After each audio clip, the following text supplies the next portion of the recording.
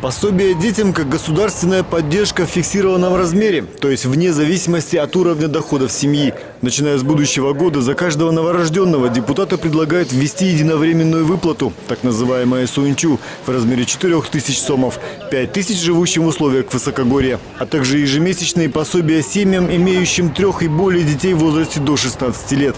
Детям до трех лет 700 сомов, многодетным семьям по 500 сомов на ребенка. Некоторые депутаты поинтересовались, не потеряет ли смысл само понятие пособия при таком подходе.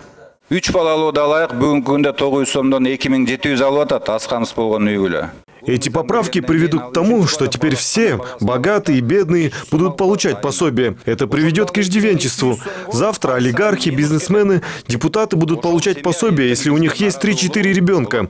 Такое же пособие будет получать бедная семья, соседствующая с богатой. Разве это поспособствует установлению социального равенства? По мнению других депутатов, законопроект выведет из черты крайней бедности малоимущие семьи, поддержит детей и улучшит генофонд страны.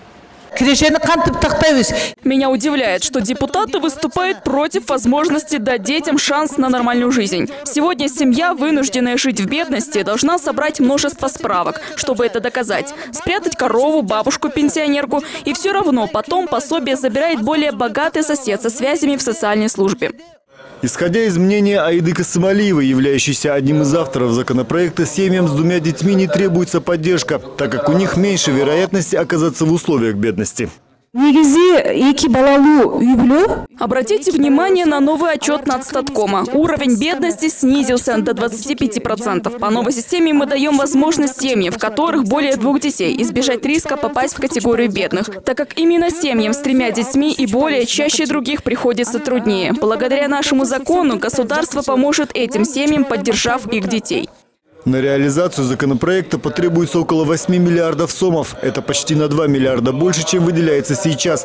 При этом число получателей увеличится более чем вдвое. Стараться уложиться в эту сумму будут, вероятно, за счет сокращения ныне действующих пособий. По данным Минсоцразвития, пособие по малообеспеченности сегодня составляет около 900 сомов на одного ребенка. После принятия закона из них останется только 500 сомов. Кстати, в октябре этого года для этой категории граждан выплаты планировалось повысить. В связи с обсуждением законопроекта теперь этого делать не будут.